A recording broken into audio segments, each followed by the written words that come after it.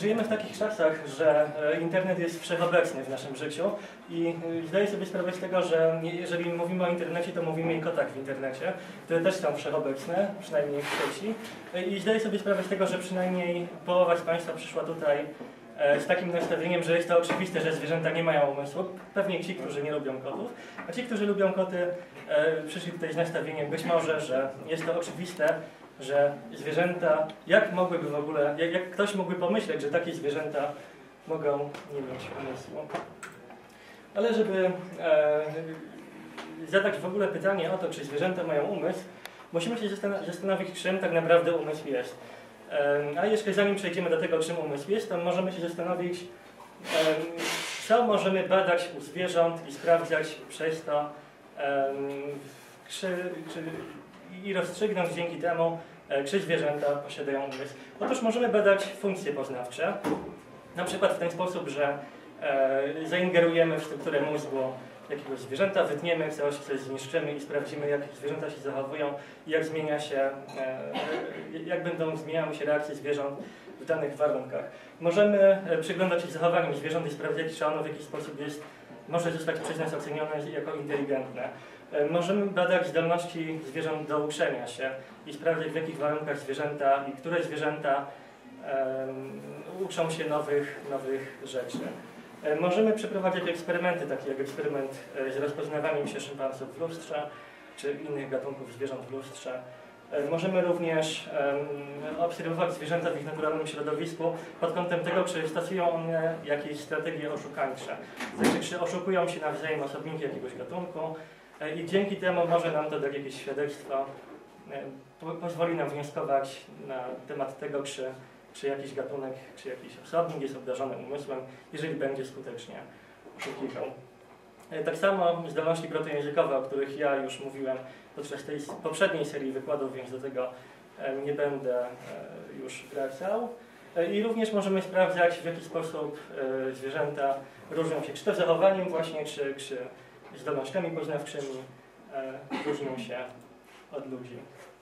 Ale żeby e, od czegoś zacząć, żeby w ogóle podejść do tego tematu, musimy przyjąć e, pewną zasadę metodologiczną, która nazywana jest brzytwą Ockhama. I w tym przypadku można ją rozumieć w ten sposób, że będziemy przypisywać zwierzętom minimalną ilość zdolności poznawczych, obserwując ich zachowanie. To znaczy, jeżeli będziemy widzieć muchę, którą chcemy zabić i że ta mucha ucieka, to nie będziemy sugerować, że mucha jest obdarzona samoświadomością, że mucha jest obdarzona zdolnością e, wyczuwania naszych niecnych intencji. Ona rozumie, że my jesteśmy jej prześladowcami, e, odczytuje to, że my chcemy ją zabić, e, boi się śmierci, bo wie, że może wierzy w jakieś życie po śmierci albo i nie i gdzie przez to właśnie, że my chcemy ją zabić, ona ucieka.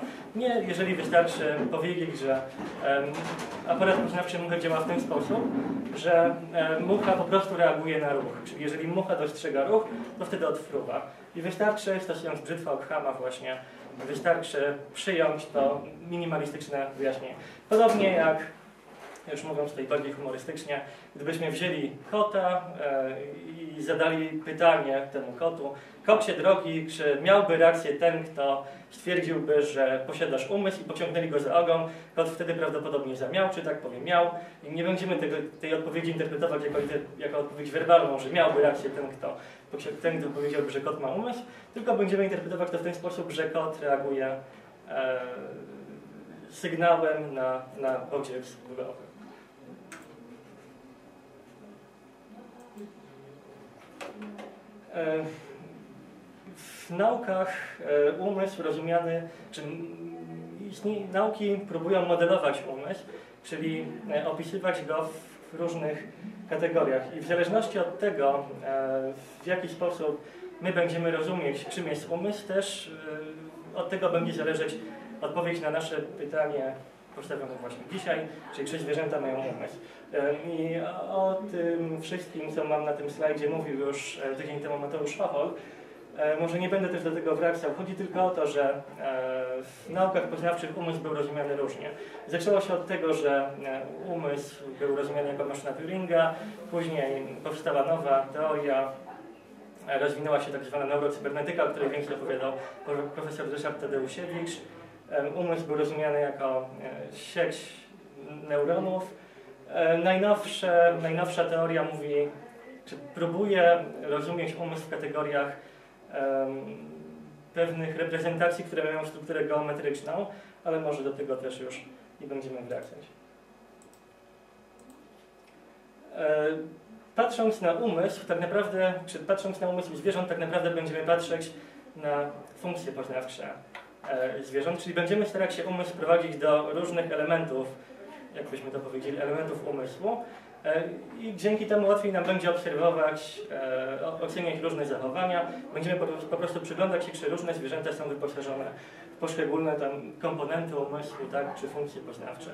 E, I takimi funkcjami poznawczymi mogą być zmysły i wrażenia zmysłowe, które zmysły gwarantują, tak, uwagę, emocje, pamięć, planowanie, zdolność do planowania, intencjonalność, czyli zdolność do działania skierowanego na jakiś cel, teoria umysłu, czyli czyli e, świadomość, czy zdawanie sobie sprawy przez jakiś organizm, że inny organizm jest wyposażony w umysł, e, no i wiele, wiele innych funkcji poznawczych. E, musimy pamiętać o tym, że e, świat, w którym, w którym my oglądamy, my odbieramy, tak naprawdę przede wszystkim istnieje w naszych głowach. Państwo tutaj jesteście, ale Państwo jesteście tutaj, ja Państwa widzę w ten sposób, ponieważ tak zbudowany jest mój aparat poznawczy. Gdybym E, gdyby mój mózg wyglądał inaczej, gdyby inaczej funkcjonował, ja mógłbym Państwa zupełnie inaczej postrzegać. Mógłbym, gdybym miał lezie mózgu, które sprawia, że cierpiałbym na zespół pomienia stronnego tak zwany, to na przykład nie dostrzegałbym części Państwa po lewej stronie, gdybyście Państwo do mnie, nie wiem, rzucali szklankami. W ogóle bym na to nie reagował, ponieważ dla mnie lewa strona świata nie istniałaby w ogóle. Czyli to, w jaki sposób my, e, my rozumiemy to, w jaki sposób my odbieramy rzeczywistość, uzależnione jest od tego, w jaki sposób e, działają nasze mózgi. Mózgi zwierząt działają w trochę inny sposób niż mózgi ludzi, ale możemy przyjąć, że one również, zwierzęta, e, w jakiś sposób budują sobie to, co e, nazwę tutaj światem wewnętrznym. Czyli to wszystko, e, co dostarczają im zmysły, e, sprawia, że zwierzęta budują sobie jakiś obraz świata. I będziemy zastanawiać się, jak właśnie E, w przypadku różnych gatunków zwierząt ten obraz świata wygląda. Jeśli chodzi o budowanie tego obrazu świata, budowanie świata wewnętrznego, to na pierwszym poziomie zdolności, które pozwala zbudować ten świat wewnętrzny są zmysły i wrażenia, które filozofowie lubią nazywać kwaliami. I jeśli chodzi o te wrażenia, to one odpowiadają poszczególnym zmysłom, czyli mamy wrażenia wzrokowe, węchowe, słuchowe, tak? E, one są jednomodalne, to znaczy, że wrażenia E, nie mogą, wrażenia jednej modalności, jednego zmysłu nie mogą przejść na wrażenia innego zmysłu. W przypadku zwierząt właśnie e, z ograniczonym, z ograniczonym umysłem do, do wrażeń. W przypadku ludzi to może trochę inaczej wyglądać, jeszcze do tego wrócę. E, po prostu nie możemy widzieć dźwięków, tak? nie możemy słyszeć obrazów itd. Tak wrażenia dzieją się w czasie teraźniejszym, to znaczy, że my nie możemy doznawać wrażeń, które były wczoraj, nie możemy przedwczorajszego bólu głowy doznawać, e, nie, nie, nie możemy też jutrzejszego chłodu odczuwać itd. Tak Czyli wrażenie to jest to, co tak naprawdę informuje organizm, co dzieje się z nim w danej chwili, konkretnie w danej jednej chwili. E, I funkcje wrażeń są oczywiste, one pomagają zwierzętom funkcjonować dobrze w świecie e, i, są skorelowane z podstawowymi schematami działania, czyli z szukaniem żywności, tak z jedzeniem, e, z walką z ucieczką i z kopulacją. E, I one są też skorelowane z uwagą, czyli ze zdolnością do selekcji jednych wrażeń e, spośród innych i również z emocjami, które pozwalają na modulowanie pewnych, pewnych zagrożeń, ustawianie, ustawianie hierarchii ważności. Chodzi tylko o to, że gdy widzę, odczuwam głód, mam wrażenie głodu, widzę nie wiem, załóżmy, że jestem antylopą, tak, widzę piękną trawkę, mogę się posilić, ale dostrzegam też lwa i emocje gwarantują to, że ja nie będę paść się e, na tej trawce, tak, jeżeli gonił mnie będzie lew, tylko najpierw po prostu e, będę przed tym lwem uciekał. Jakby kolejnym stopniem po wrażeniach e, są percepcje i teraz percepcje będę rozumiał przez pewne interpretacje wrażeń plus e, plus informacje uzupełnione o to, co dodaje jakby mózg od siebie. Czyli e, gdy zerkniemy na e, ten obrazek, tak zwany trójkąt kamiscy. E, my widzimy tutaj kilka figur geometrycznych, tak, trzy czarne koła, trójkąt z czarnymi konturami i widzimy biały trójkąt, który tak naprawdę nie ma konturów białych, ale nasz mózg jakby dodaje, interpretuje ten, ten element jako trójkąt obdarzony konturami. Po prostu zadziała symulator, czyli czyli jakiś mechanizm mózgowy, który dopowiada pewne pewne e, informacje, które dostarczają nam zmysły.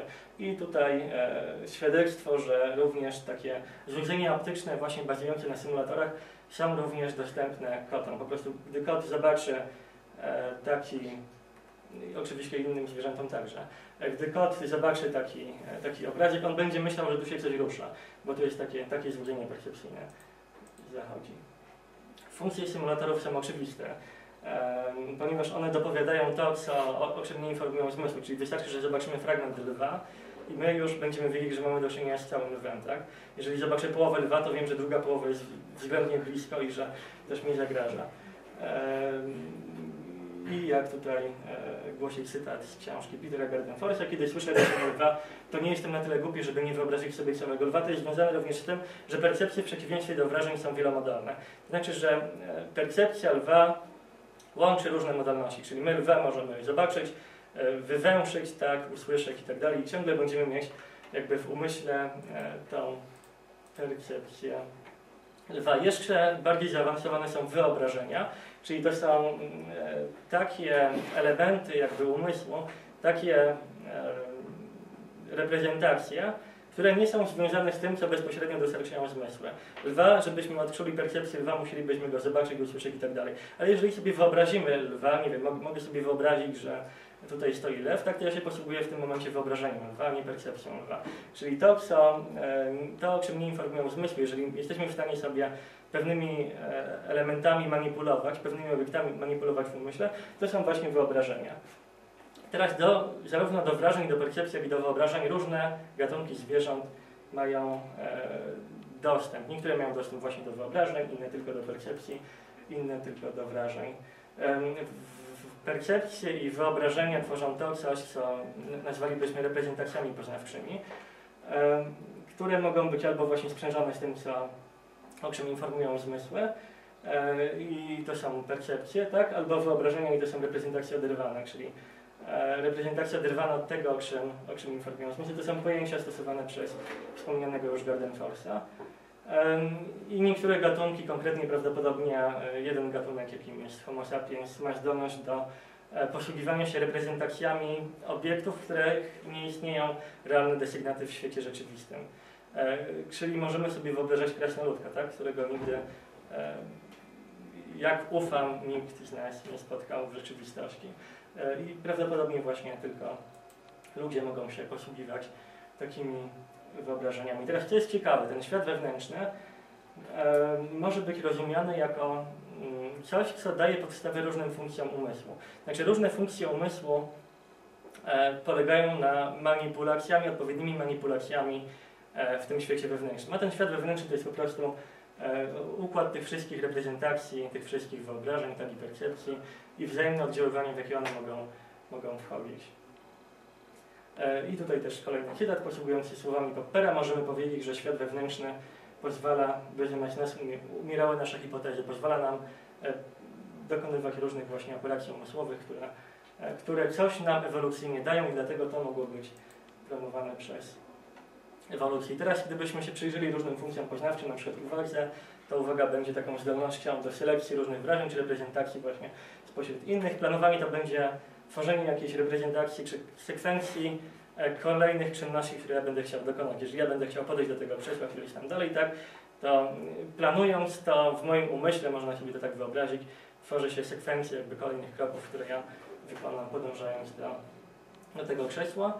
E, teoria umysłu, czyli świadomość tego, że inne, inne jednostki, inne organizmy też mają umysł, też będzie e, polegała na tym, że w naszym świecie wewnętrznym my będziemy jakby próbować E, zasymulujemy sobie, że ktoś inny posiada umysł. I teraz jest takie ciekawe pojęcie e, symulacji kognitywnej, którą właśnie rozumiał będę jako e, pewne manipulacje w świecie wewnętrznym. I ta symulacja kognitywna gwarantuje, jakby na niej bazują różne funkcje poznawcze i do niej mają również dostęp różne, różne gatunki zwierząt.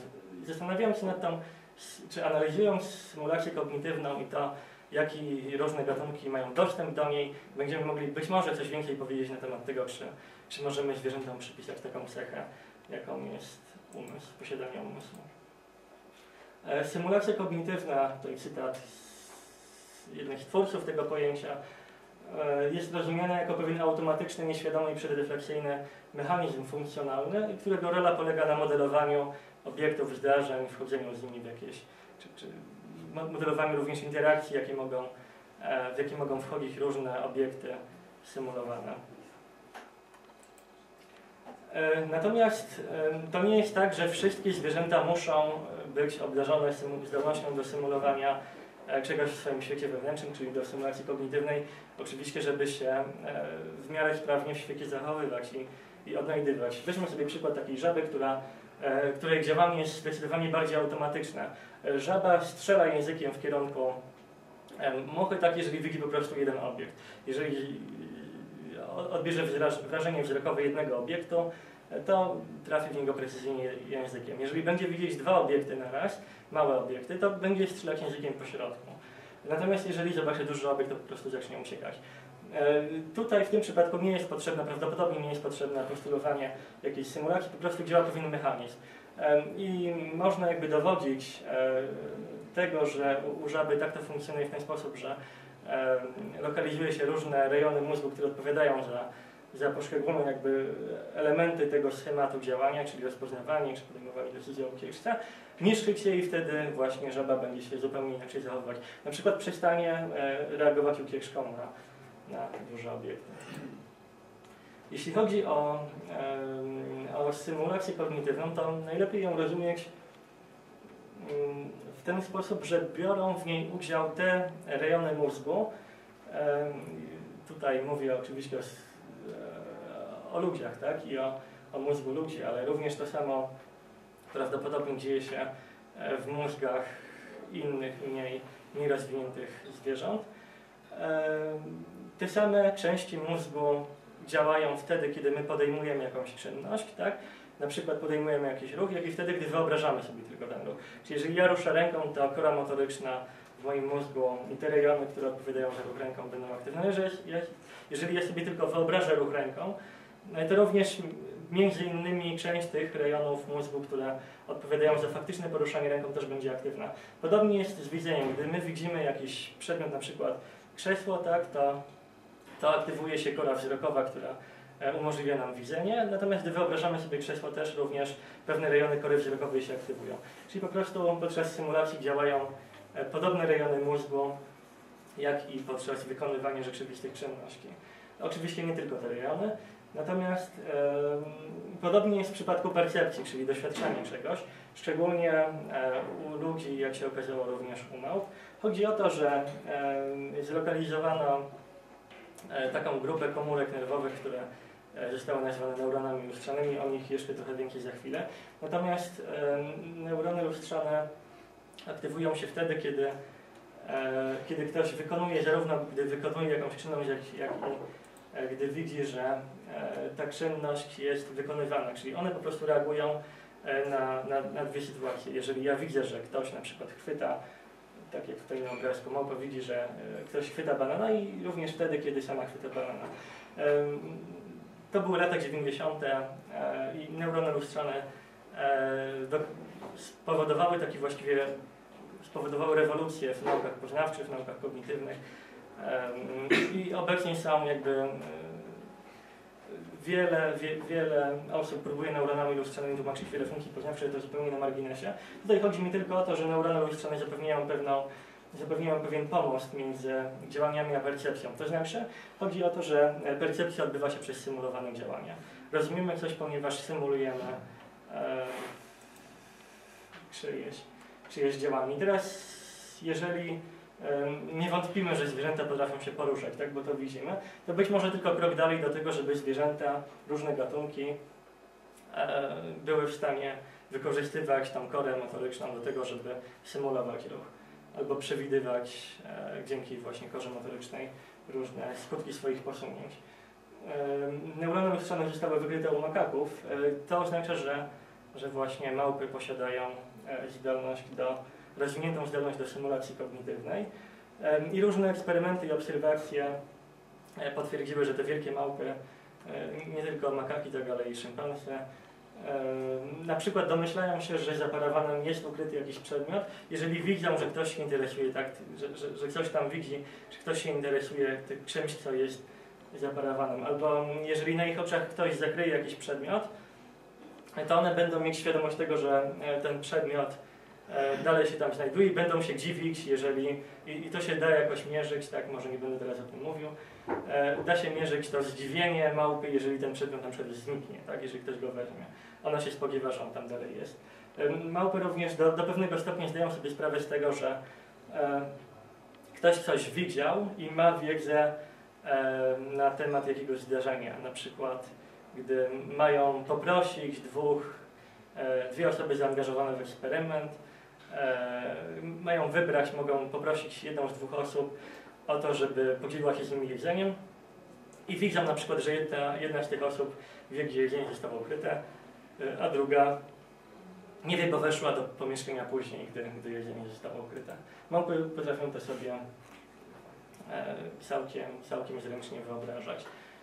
E, Przejdźmy teraz do pewnych zachowań inteligentnych i, i e, tego, w jaki sposób e, możemy mówić, czy rozstrzygać o tym, czy zwierzęta, różne gatunki zwierząt posiadają umysł, na podstawie obserwacji różnych zachowań, e, które ocenilibyśmy jako inteligentne, na podstawie e, zdolności różnych gatunków do oszukiwania i na podstawie e,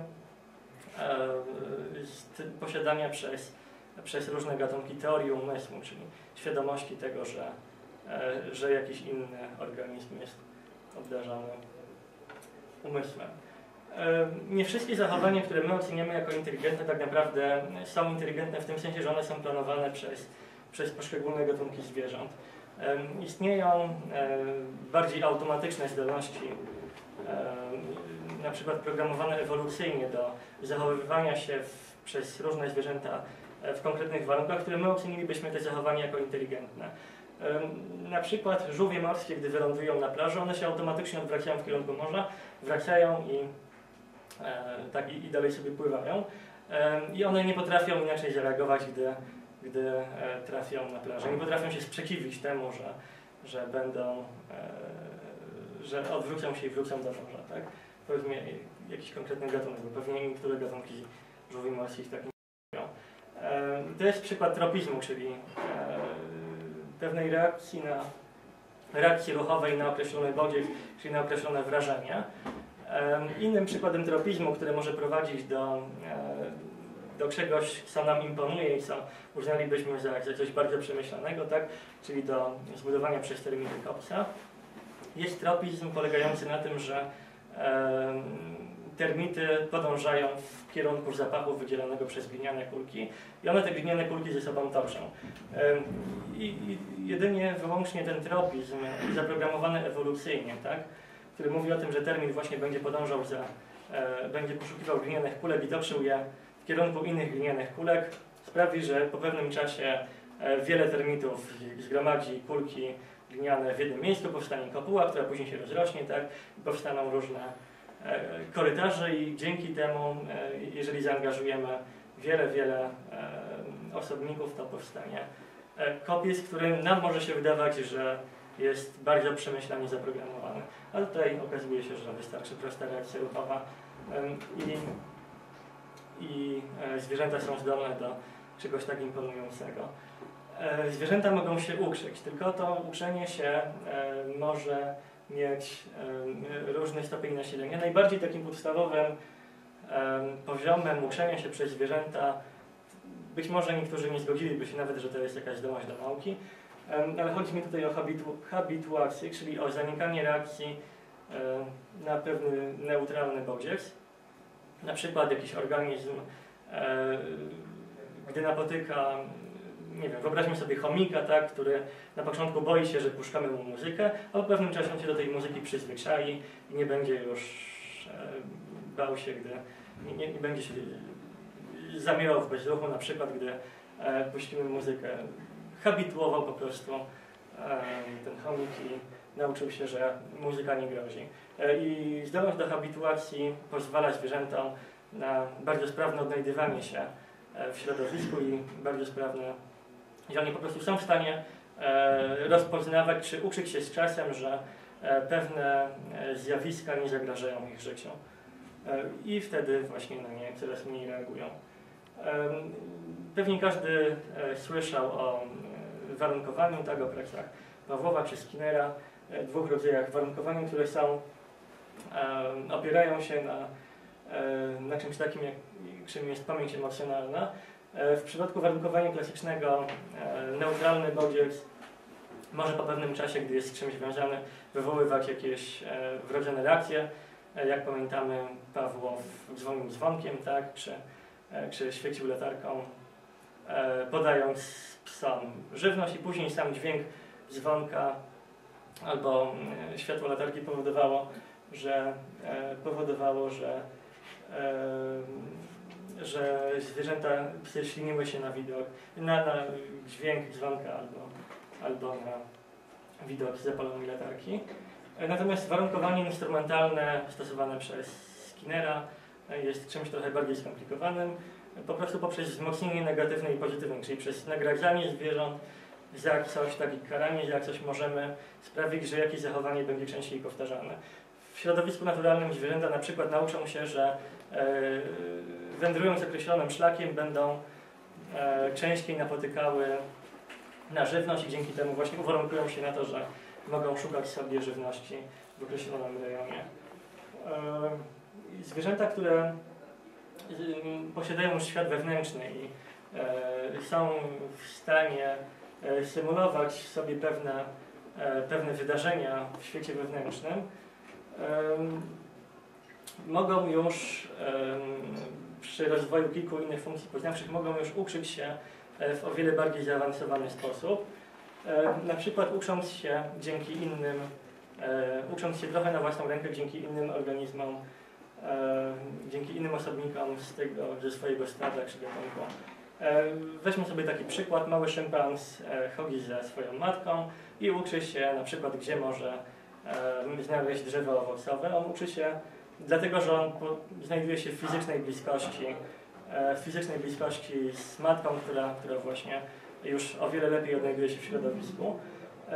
Mogą się też uczyć, to jest właśnie e, nauka przez ekspozycję, natomiast przez wyróżnienie bodźca małpy, na przykład małpy uczą się e, w ten sposób, że widzą, że jakiś osobnik czymś jest zainteresowany i później same na własną rękę na przykład widzą, że duży szympans rozgrzebuje kopsy termitów patykiem i łowi termitę i one później wezmą sobie, znajdą podobny patyk, czy wezmą ten sam patyk właściwie e, i same na własną rękę będą manipulować i nauczą się, że w kopcach znajdują się termity i można się w ten sposób e, całkiem pożywnie posilać.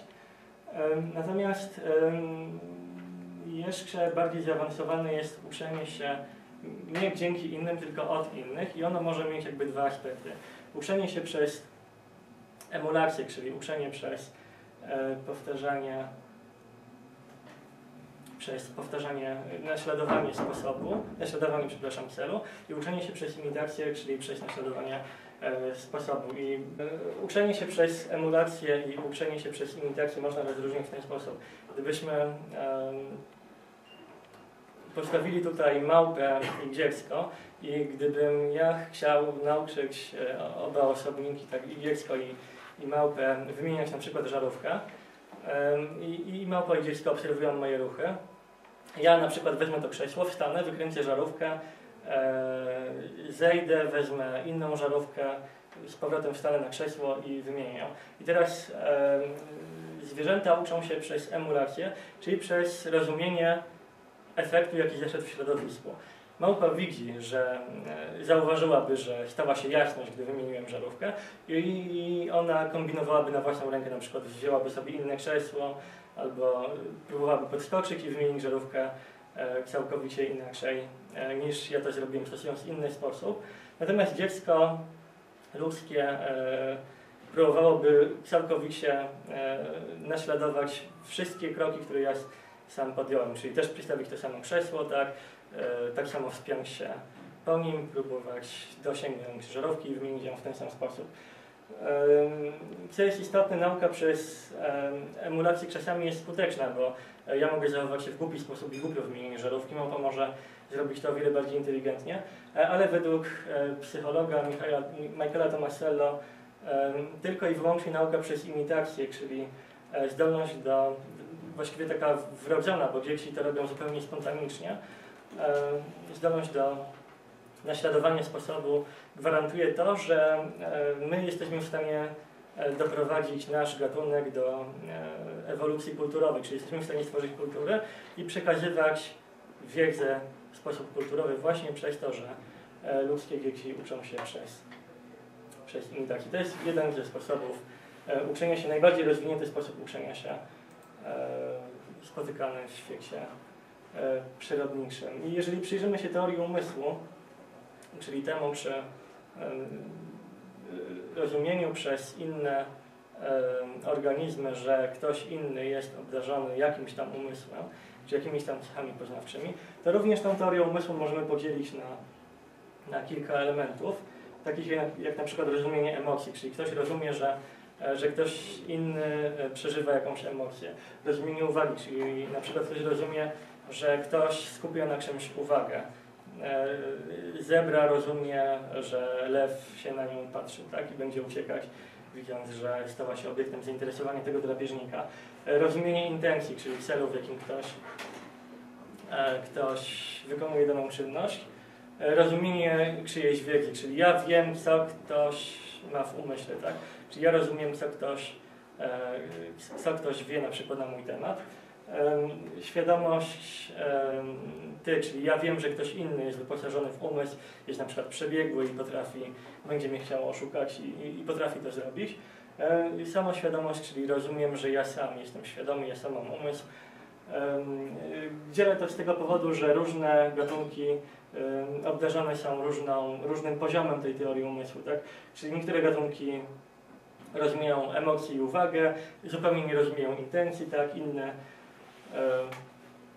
rozumieją intencje, ale nie traktują innych jako obdarzonych umysłem i właściwie na najwyższym poziomie teorii umysłu oczywiście znajduje się człowiek, czyli my jesteśmy wydarzeni samoświadomością, natomiast poniżej nas małpy sztukokształtne prawdopodobnie zatrzymują się pomiędzy świadomością, pomiędzy rozumieniem intencji, a pomiędzy i nierozumieniem e, czyjejś wiedzy.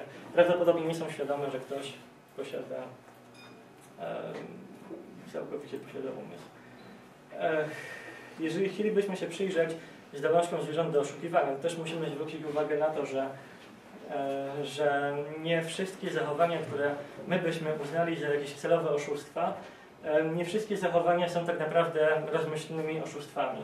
E, istnieją owady, które ewolucja zaprogramowała w ten sposób, że może zaprogramowała to jest złe słowo, ale ewolucja sprawiła, że one się upodobniają do innych gatunków, na przykład, które są niebezpieczne, i my byśmy uznali, że te owady oszukują, tak? bo one próbują, udają nie tego, kim są. E, natomiast tutaj działa wyłącznie dobór naturalny. Chodzi o to, że, e, że zaszła pewna mutacja, która sprawiła, że e, populacja jakiegoś gatunku zaczęła się upodabniać i ona po prostu przeżyła, inna, inna wymarła. Jeśli chodzi o E, tak, i to, jest, to, to się nazywa mimikra, tak? czyli taka e, przystosowanie e, ewolucyjne, które polega na naśladowaniu zupełnie e, biernym, tak, nieświadomym naśladowaniu czyjegoś wyglądu. E, jeśli chodzi o różne strategie oszukańcze, to na przykład kameleon, tak? on się maskuje, ale to on nie chce zmieniać kolorów, e, próbując się wtopić w otoczenie, bo ma taką fantazję i wie, że to mu się przyda. On po prostu robi to zupełnie e, spontanicznie. Tak, tak działa mechanizm e, umysłowy w przypadku, w przypadku kameleona, który jest raczej nie jest celowym oszustwem, tylko jest pewną ewolucyjną strategią oszukańczą. O wiele e, większe problemy mamy z interpretacją różnych zachowań wśród gatunków społecznych, takich jak przede wszystkim małpy. Tak? Tam jest o wiele trudniej zrozumieć, czy jakaś małpa e, kogoś celowo oszukuje. E, Różni badacze, Jane Goodall e, i wiele, wielu innych, tak Dival, zaobserwowali różne przypadki, w których jeden szympans próbował innego wyprowadzić w pole i na przykład dzięki temu sam skonsumować smakowitą kiś bananów, tak, a nie podzielić się, nie podzielić się nią ze swoim, e, ze członkiem swojego stada.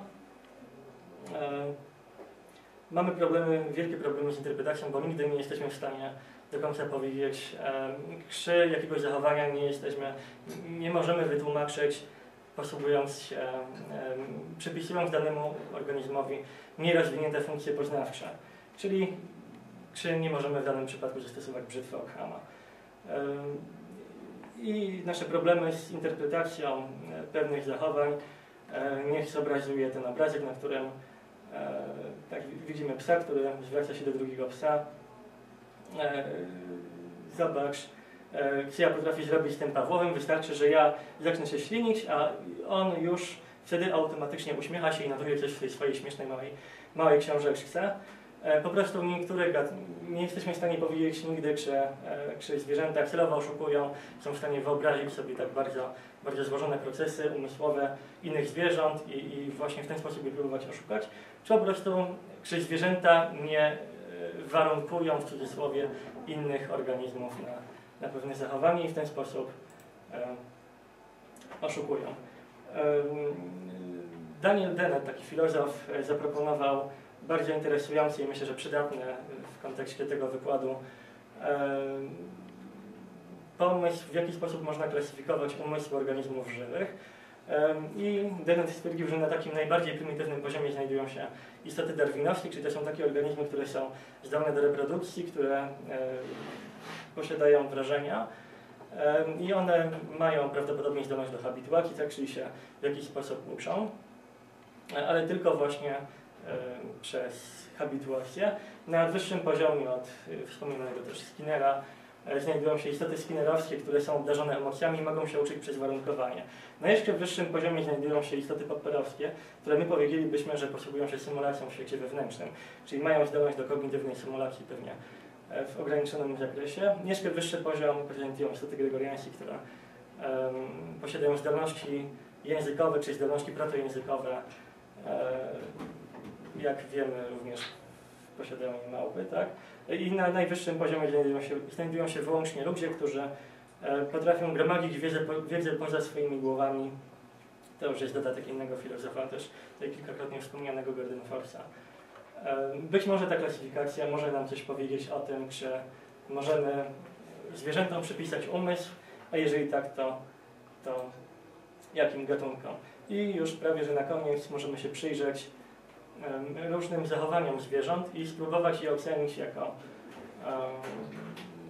czy są to zachowania inteligentne i czy po tych zachowaniach moglibyśmy przypisać zwierzętom jakie funkcje poznawcze i jeżeli, jeżeli wystarczająco dużo, to czy moglibyśmy powiedzieć, że zwierzę to jest obdarzone umysłem. No na przykład bobry budują tamy, tak? I e, stosując brzytwę Ockhama schodzimy na najniższy możliwy poziom, czyli e, powiedzielibyśmy, że to jest za- zachowanie wrodzone, pewnego rodzaju pewnie tropizm. Richard Dawkins powiedziałby, że to jest e, przykład rozszerzonego fenotypu pewnych genów e, bobra, które właśnie sprawiają, że ten bóbr wznosi sobie tamy i zmienia, zmienia środowisko. Jeżeli pies ucieka na widok człowieka, który go kiedyś skrzywdził, to niekoniecznie musimy powiedzieć, że ten pies ma tak fantastyczną pamięć, że on doskonale pamięta, jaki to oprawca go dopadł. Tylko wystarczy, że działa pamięć emocjonalna i warunkowanie. Pies się uwarunkował na widok e, określonego człowieka i wtedy właśnie e, unika go jak ognia, bo wie czym to może grozić. E, o żółwiach morskich już mówiłem, że to jest tropizm, tak? Termity również tropizm. Jeżeli kot goni mysz, która e, schowa się za kotarą i e, kot przestaje ją widzieć, ale kot zachowuje się tak, jakby wiedział, że ta mysz dalej się tam znajduje, albo kot e, wchodzi do nowego pomieszczenia, widzi mysią, mysią dziurę czy jakąś małą szparę i on nie próbuje do niej wejść, bo on wie, że on się tam nie zmieści. Co zachodzi? Prawdopodobnie zachodzi symulacja kognitywna. Kot potrafi sobie wyobrazić, że e, on ma takie wymiary, jakie ma, tak? I do tej małej dziury się nie zmieści. Natomiast w przypadku myszy kot sobie posługuje się wyobrażeniem myszy, czyli tą reprezentacją oderwaną e, i wie, że mysz dalej się tam znajduje. On nawet potrafi pewnie przewidzieć, którędy najłatwiej e, biec, żeby tą mysz przechwycić. Jeżeli wiewiórka gromadzi zapasy na zimę, to to też jest zachowanie wrodzone, e, ponieważ gdy w jakiś sposób uzupełnimy spiżarnię wiewiórce, tak, albo gdy ją, gdy ją uzupełnimy, to wiewiórka dalej będzie gromadzić zapasy, a gdy ją splądrujemy, a, a spiżarnia będzie uzupełniona, to wiewiórka nie zacznie na nowo gromadzić. To sugeruje właśnie, że e, wiewiórka nie kieruje się żadnym wyobrażeniem swoich zapasów, e, nie ma żadnej listy tego, co już zrobiła, tego co jeszcze przed zimą musi zrobić, to po prostu działa pewien e, prawdopodobnie tropizm jakiś, czy jakaś sekwencja tropizmów, które sprawiają, że, e, że wiewiórka gromadzi zapasy na zimę. Po prostu jest to strategia ewolucyjna, a nie, e, a nie planowane działanie. E, Ciekawy przykład zaobserwowany w Japonii, e, który e, stawia pod znakiem zapytania tezę Michaela Tomasella, czy tylko ludzie potrafią się uczyć przez imitację, czyli przez, przez naśladowanie.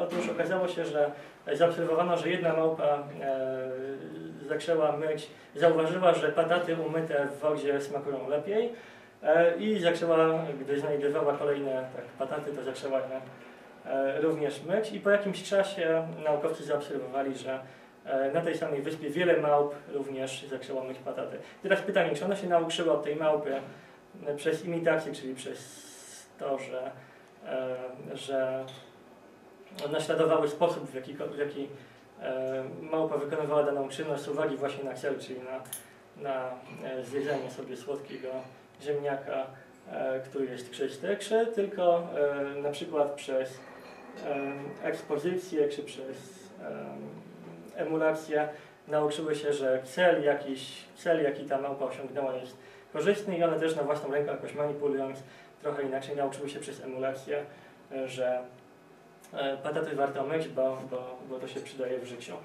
E, Jeżeli, o małym szympansie właściwie też mówiłem i o, o chomiku, który reaguje na dźwięk. E, Również, gdybyśmy chcieli sobie e, spojrzeć na różnice pomiędzy ludźmi a innymi zwierzętami, to przede wszystkim powinniśmy podkreślić to, co już też wspomniałem, tak, że e, przynajmniej zdaniem Tomasello i jego zwolen- zwolenników jego teorii, nauka przez imitację jest tylko dziedziną właściwą wyłącznie ludziom.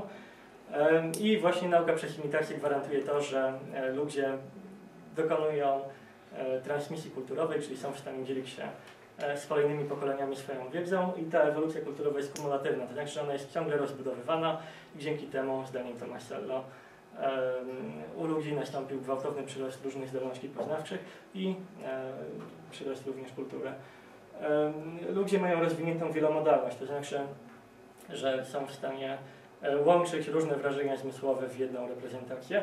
Nie wiadomo jak to jest e, na różnych, u różnych innych gatunków i można również tutaj wspomnieć o czymś, co moglibyśmy nazwać zepsutą wielomodalnością, czyli synestezją. Jest to takie zjawisko kognitywne, które lu- ludzie, którzy są obdarzeni, tak, czy cierpią na synestezję, e, którzy cechują się synestezją, może tak będzie najlepiej, doświadczają jednych wrażeń e, zmysłowych jakby w kategoriach innych wrażeń zmysłowych. Oni mówią na przykład, że widzą dźwięki, tak?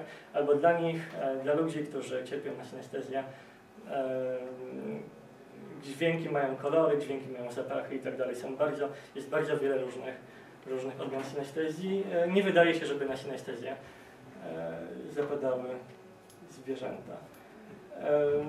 Też mówiłem o reprezentacjach bez realnych desygnatów, czyli prawdopodobnie tylko człowiek potrafi sobie wytworzyć e, reprezentację nieistniejącego w przyrodzie obiektu takiego, jakim jest krasnoludek albo uczciwy polityk. E, Metafory, które e, gwarantują, jak wspominałem na poprzednim wykładzie o protojęzyku, gwarantują to, że protojęzyk może się zamienić w język. Metafory też e, jako pewne struktury poznawcze dostępne są tylko człowiekowi. Prawdopodobnie tylko człowiek ma samoświadomość, czyli jest świadom tego, że on ma umysł. Em, I e, jeżeli mówimy, że człowiek ma samoświadomość, to e, kolejnym krokiem jakby jest powiedzenie również tego, że tylko człowiek jest obdarzony uczuciami. E, Uczucia są rozumiane w ten sposób, że e, uczucie to uświadomiona emocja, tak? Czyli jeżeli zwierzęta posiadają tylko emocje, w co prawdopodobnie nikt nie wątpi.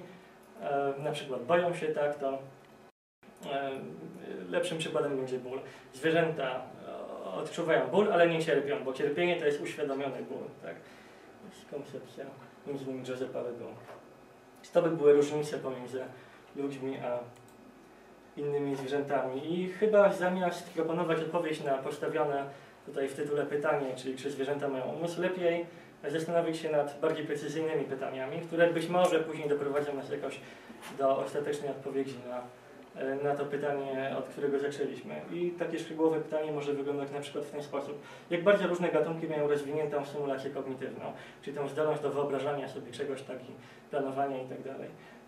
Na ile wielomodalne są reprezentacje różnych gatunków, tak? Czy zwierzęta potrafią się uczyć przez imitację? E, Czy nauczenie język, protojęzyka bonobo zapoczątkuje kumulatywną ewolucję kulturową? Ciekawe pytanie.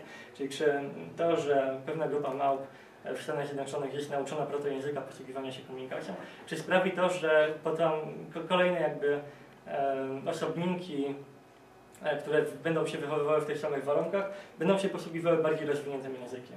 Czyli czy, czy e, stworzą w pewien sposób jakąś małpią kulturę językową?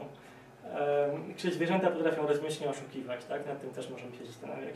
Czy e, emoc- jakie emocje społeczne występują u zwierząt, nie mylić z uczuciami? E, I jak rozwiniętą teorią umysłu dysponują różnych gatunków. Być może odpowiedź na e, te szczegółowe pytania pozwoli nam coś powiedzieć więcej na temat tego, czy, czy przypisać, czy rozstrzygnąć, czy możemy zwierzętom przypisać taką cechę, jaką jest umysł. Ale koniec końców to i tak będzie zależało od tego, jak my sobie umysł zdefiniujemy. Dziękuję za uwagę.